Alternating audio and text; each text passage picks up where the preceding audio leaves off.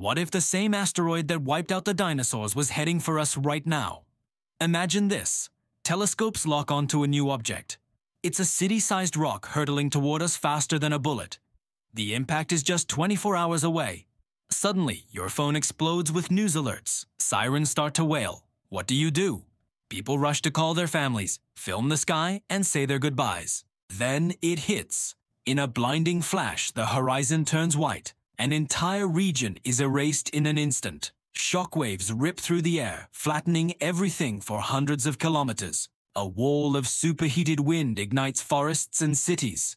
Hours later, a dust cloud wraps the planet, turning day into a dim twilight.